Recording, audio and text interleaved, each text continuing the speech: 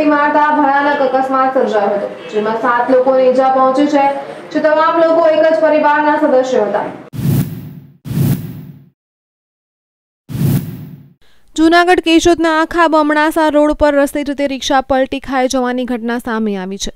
રિક્ષા પલટી મારતા એક જ પરિવારના બે બાળકો અને ત્રણ મહિલાઓ અને બે યુવતીઓને ઈજા પહોંચી હતી. આ તમામ મુસાફરો એક જ ગામ અને એક જ પરિવારના છે તેવું જાણવા મળ્યું હતું.